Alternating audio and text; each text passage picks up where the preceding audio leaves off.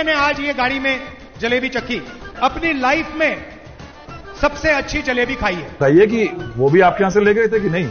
नहीं वो तो पता नहीं कहाँ से गई थी वो यहाँ से तो नहीं गई। अच्छा राहुल गांधी की रैली में जो जलेबी बातूराम की पहुँची थी उस पर नाम भले ही बातूराम रहा हो थी गोहाना की मगर वो ओरिजिनल दुकान की नहीं थी।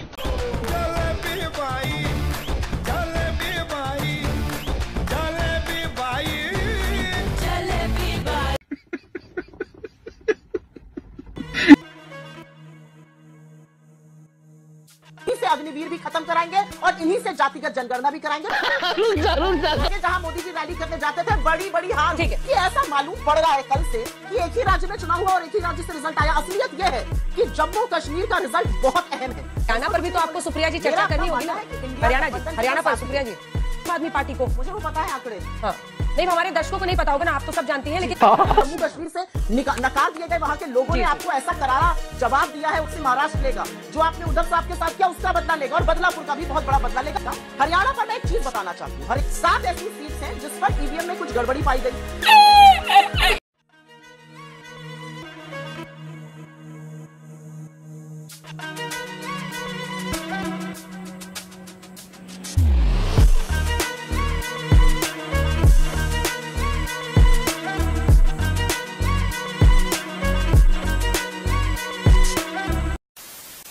नमस्कार दोस्तों, स्वागत है आप सभी का। आप देख रहे हैं खबरी शो। दोस्तों, हरियाणा चुनाव जब चल रहा था तो कांग्रेस पार्टी की प्रवक्ता सुप्रिया सिन्नेत ने एक डिबेट में कहा था कि अगर हरियाणा में बीजेपी की 20 से ज़्यादा सीटें आ जाती हैं तो मेरा नाम बदल देना। लेकिन दोस्तों, जब रिज़ल्ट आने के बाद ये पहली बार डिबेट में आई तो इनका कहना था कि सब हरियाणा चुनाव की बात क्यों कर रहे हैं? जम्मू कश्मीर की बात करो ना, जहाँ पे बीजेपी का सुपड़ा साफ़ हुआ है। लेकिन दोस्तों, इन मैडम को ये नहीं पता कि जम्मू एंड कश्मीर में नब्बे सीट में से कांग्रेस को मात्र छह सीट मिली हैं, वो भी गठबंधन करने के बाद। तो दोस्तों वीडियो बहुत मज़ेदार होने वाली है। आपसे अनुरोध अंत तक ज़रूर देखना। अगर आप चैनल पे पहली बार आए हैं या चैनल को अभी तक सब्सक्राइब नहीं किया है तो चैनल को सब्सक्राइब ज़रूर कर लेना। चलिए दोस्तों मेन वीडियो स्टार्ट करते हैं। पार्टी के इतिहास में मैं उदाहरण बताना चाहता हूँ। राजस्थान में अशोक गहलोत जी की सरकार जब बनी तो उसे स्पष्ट बहुमत नहीं था। बहुजन समाज पार्टी के छह विधायकों ने बिना शर्त समर्थन कांग्रेस को दिया था। और कांग्रेस ने उन छह विधायकों को अपनी पार्टी में शामिल कर लिया। यानी आधा दर्जन हाथी खा गए। ऐसा उदाहरण आपको देखने को नहीं मिला होगा। गठबंधन रहे, गठबंधन टूट जाए, गठबंधन अलग हो जाए, ये सब तो उसके बाद पार्टियों में तोड़ फोड़ो समझ में आता है। वो आपको लिखित समर्थन दे रहे हैं, बिना शर्त समर्थन दे रहे हैं, उसके बाद आपने कर लिया। इस प्रकार की बहुत सारी बातें और बहुत सामान्य सी अगर बात कहें तो क्षेत्रीय दलों का भी अपना अपना कहना है भाई। मध्य प्रदेश के चुनाव के दौरान लोगों को ध्यान नहीं है क्या कि समाजवादी पार्टी के लिए चिरकुट पार्टी ऐसा शब्द प्रयोग हुआ था? तो समाजवादी पार्टी ने कांग्रेस के लिए चालू पार्टी यूज़ किया था।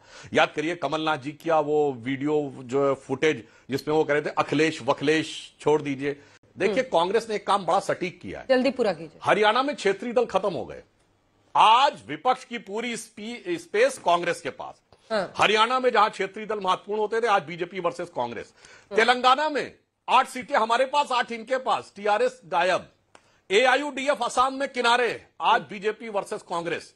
जेडीएस का वोट इन्होंने खाया। जेडीएस आज हमारे साथ गठबंधन में मार्जिनलाइज हो गया कर्नाटक में। आज बीजेपी वर्सेस कांग्रेस। क्योंकि जिस वोट बैंक के चक्कर में ये लोग साथ में आए थे उस वोट बैंक पे ऐसी पैनी पकड़ बनाई है कांग्रेस ने कि ये सहयोगी दल साफ़ हो गए। हरियाणा में सबसे लंबे अंतर से कौन सीट जीती है? ममन खान जीते हैं।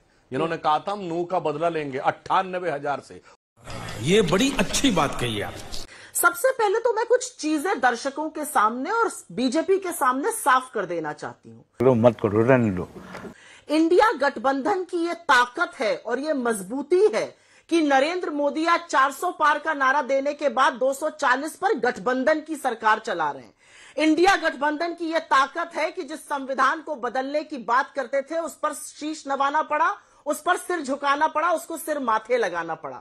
इंडिया गठबंधन की यह ताकत है कि चाहे वो वक्फ बोर्ड बिल हो चाहे वो यूट्यूब ब्रॉडकास्टर्स बिल हो चाहे वो इंडेक्सेशन हो चाहे वो लैटरल एंट्री हो हर चीज़ पर हमने उनसे यू टर्न कराया। ये इंडिया गठबंधन की ताकत है कि हम इन्हीं से अग्निवीर भी खत्म कराएँगे और इन्हीं से जातिगत जनगणना भी कराएँगे।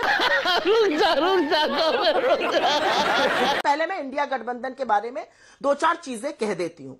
मैं बिल्कुल हम अनलाइक द बीजेपी यहाँ पर एक शब्द प्रयोग किया गया हम हाथी निकल गए। अरे आप तो वो सांप है जो आप अगल बगल वालों को ही डस लेते हैं पहले। पूछिए शिवसेना से पूछिए एनसीपी से पूछिए शिरोमणि अकाली दल से पूछिए जदयू से पूछिए जेजेपी से जिसके साथ आप आए आप पहले उसको डसते हैं उसको खत्म करते हैं लोगों के घर पे डाका डालने का अपने घटक दलों के घर पे डाका डालने का काम आप करते हैं। आपके साथ जो आया वो नेस्तो नाबूद होकर ही जाएगा। ये तो मैंने थोड़े बहुत एग्ज़ाम्पल बता दिए जो आपके साथ सालों से हैं। उनके साथ आपने क्या किया? ये सब जानते हैं। उद्धव जी का आपने जो तिरस्कार किया इसका बदला महाराष्ट्र भी लेने वाला है। मैं एक चीज़ यहाँ पर बहुत बहुत ज़िम्मेदारी से कहना चाहती हूँ। यहाँ पर बोला गया कि हमारे लोग हमलावर हो जाते हैं। मुझे ऐसा लगता है इतना लोकतंत्र ठीक है, अच्छी बात है। हम लोकतंत्र की जब प्रखर पैरवी करते हैं तो इतना लोकतंत्र हम इंडिया गठबंधन में भी रखकर चलते हैं। हम चार लोगों की बात सुन सकते हैं, क्योंकि हम इंडिया गठबंधन को मज़बूत मानते हैं, बड़ा दिल करके चलते हैं। 2019 में मोदी जी ने 18 रैली करी हरियाणा में। इस बार कराई गई चार, क्योंकि देख लिया गया कि उत्तर प्रदेश में जो रैली हुई, वेस्ट बंगाल में हुई, महाराष्ट्र में हुई, पंजाब में हरियाणा में हर जगह जहाँ मोदी जी रैली करने जाते थे बड़ी बड़ी हार हुई। ठीक है। चड्ढा समझाओ इसे समझाओ। यह बात बहुत ज़रूरी है क्योंकि ऐसा मालूम पड़ रहा है कल से कि एक ही राज्य में चुनाव हुआ और एक ही राज्य से रिज़ल्ट आया। असलियत यह है कि जम्मू कश्मीर का रिज़ल्ट बहुत अहम है। दस साल बीजेपी ने वहाँ पर एक मिस एडवेंचर एक प्रयोग किया। वहाँ के लोगों से मत का अधिकार छीना उसको यूनियन टेरिटरी बनाया वहाँ पर प्रेसिडेंट रूल लगाया हर हथकंडा अपनाया। और वहाँ के लोगों ने एक सिरे से इनको नकार दिया है एक सिरे से इंडिया गठबंधन को जिताया है। और असलियत आज यह है कि बीजेपी के पास जम्मू कश्मीर में कहने के लिए कुछ नहीं है। ये असलियत है। उसके बारे में कोई चर्चा नहीं करेंगे। ये मूड ऑफ़ द नेशन बता रहे हैं हरियाणा से मूड ऑफ़ द नेशन बताइए ना जम्मू कश्मीर से भी जहाँ पर आपकी सिरे से हार हुई है जहाँ पर आपको बुरी तरह से हरियाणा पर भी तो आपको सुप्रिया जी चर्चा करनी होगी ना। है कि इंडिया हरियाणा जी हरियाणा पर सुप्रिया जी। सुप्रिया जी हरियाणा पर भी तो क्या? चर्चा करनी चाहिए ना। नहीं। मैं कर कह रहे हैं आम आदमी पार्टी से अगर गठबंधन हो जाता तो आपके लिए देखिए ना चार सीटें हैं। एक काउंटर क्वेश्चन है। जो कि प्रियंका जी ने भी कहा है ये अच्छा है। उन्होंने बताया कि जम्मू कश्मीर में आपने गठबंधन किया आपके लिए फ़ायदे का सौदा हुआ। आसंद की सीट। कांग्रेस की हार का अंतर 2306 वोट और आम आदमी पार्टी को वोट मिले 4290 वो ग्राफिक्स ये देखिए। उचाना कला जहाँ पर 32 वोट से आप हारे वहाँ पर ढाई हज़ार के करीब आम आदमी पार्टी को मिला। डबवाली जहाँ 610 वोट से आप हारे वहाँ 6606 मिला आम आदमी पार्टी को। 4191 के अंतर से आप हारे रनिया सीट पर वहाँ पर 4697 मिला आम आदमी पार्टी को। मुझे वो पता है आंकड़े। हाँ। नहीं हमारे दर्शकों को नहीं पता होगा ना आप तो सब जानती हैं लेकिन ये ये नंबर्स इसलिए बताने ज़रूरी हैं कि क्या अगर गठबंधन हो जाता आपकी पार्टी का अति आत्मविश्वास, जो अभी आपके साथी कह रहे हैं, वो आपको भारी नहीं पड़ा? नहीं सबसे पहले तो अंजना जी, मैं नरेंद्र मोदी तो हूँ नहीं, जो मैं सब जानूँगी, रडार से लेकर नाली से गैस बनाने तक की बातें। मैं मोदी जी थोड़ी हूँ, मैं अपनी पार्टी के परफॉर्मेंस के बारे में सब जानती हूँ, ये मैं छोटी सी बात करती मैं मोदी जी थोड़ी हूँ, जो साइंस भी जानू, विज्ञान भी जानू, इतिहास भी जानू, इतनी मेरी कहाँ हैसियत है? इतना नहीं जानती मैं। आपने हरियाणा के बारे में चर्चा की और हरियाणा के बारे में चर्चा मैं ज़रूर करूँगी। मैं यहाँ पर वही चर्चा करने आई हूँ लेकिन मुझे लगा रिमाइंडर भी देना चाहिए कि इतनी बुरी शिकस्त के बाद जम्मू कश्मीर से नकार दिए गए वहाँ के लोगों ने आपको ऐसा करारा जवाब दिया है उनको मत से हटा देने का। हरियाणा पर मैं एक चीज़ बताना चाहती हूँ। हरियाणा में क्षेत्रीय दलों का करीब 17-18 परसेंट वोट शेयर था। उसमें जेजेपी वगैरह क्षेत्रीय दल शामिल थे जिनको बीजेपी उकसाती है। आज बीजेपी और हमारा एक तरह का वोट शेयर है। चुनाव के नतीजों के बाद हाइंडसाइट 2020 होती है आकलन करना बहुत आसान है। मैं आपके सामने सात कंस्टिट्युएंसीज का नाम रख देती हूँ। करनाल डबवाली रेवाड़ी पानीपत सिटी होडल कालका नरनौल। ये सात ऐसी सीट्स हैं जिस पर ईवीएम में कुछ गड़बड़ी पाई गई। हमारे कैंडिडेट्स उसको लेकर रिटर्निंग ऑफिसर के पास गए। रिटर्निंग ऑफिसर और इलेक्शन कमीशन ने उस पर जब कोई फैसला नहीं लिया तो आज हम इलेक्शन कमीशन से हमारा जो डेलीगेशन है वो मिलने गया है। हरियाणा की हार से कांग्रेस पार्टी क्या कोई सबक ले रही है? अति आत्मविश्वास शब्द आपके कम से कम तीन चार गठबंधन के साथियों ने कहा है। हर चुनाव, हर परिणाम, हर नतीजे से हम कोई ना कोई सबक ज़रूर सीखते हैं। कांग्रेस पार्टी इससे भी सबक सीख रही है। मैंने आपसे पहले ही कहा कि रणनीति बन रही है। राहुल जी और खड़गे जी मिले हैं। आगे हम अपने गठबंधन के साथियों से बात करेंगे। भाई, हम तो एक दूसरे के साथ बड़े प्रेम से बड़े प्यार से बात करते हैं हमारे अंदर लोकतंत्र है।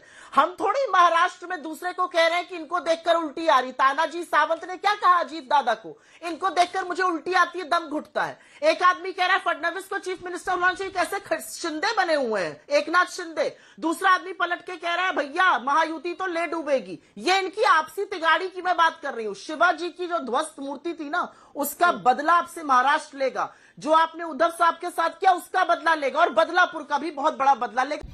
नाच न जाने आँगन टेढ़ा कुछ ऐसा ही हाल हरियाणा में बीजेपी का है। अपनी आगामी हार से सकपका कर बीजेपी इतना घबरा गई है बहन डर गई बहन डर गई। उसका नतीजा सबके सामने है। 20 के ऊपर अगर बढ़ जाए तो मेरा नाम बदल दीजिएगा आप। क्या हो गया? बुरी नहीं बात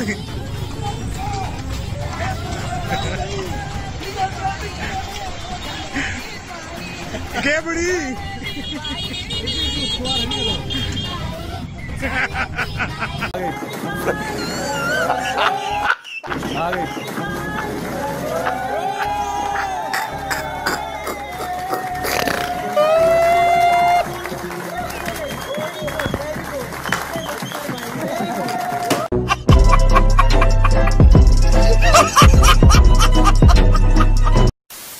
तो दोस्तों, अगर आपने वीडियो अंत तक देखी है तो उम्मीद करता हूँ आपको वीडियो पसंद आई होगी। वीडियो के बारे में आपकी क्या राय है, कमेंट्स करके ज़रूर बताएँ। वीडियो को अंत तक देखने के लिए आप सभी का बहुत बहुत धन्यवाद। ऐसी मज़ेदार वीडियो देखने के लिए चैनल को सब्सक्राइब करना बिल्कुल ना भूलें। चलिए दोस्तों, मिलते हैं मुझे अगली वीडियो में। तब तक के लिए जय हिंद, वंदे मातरम।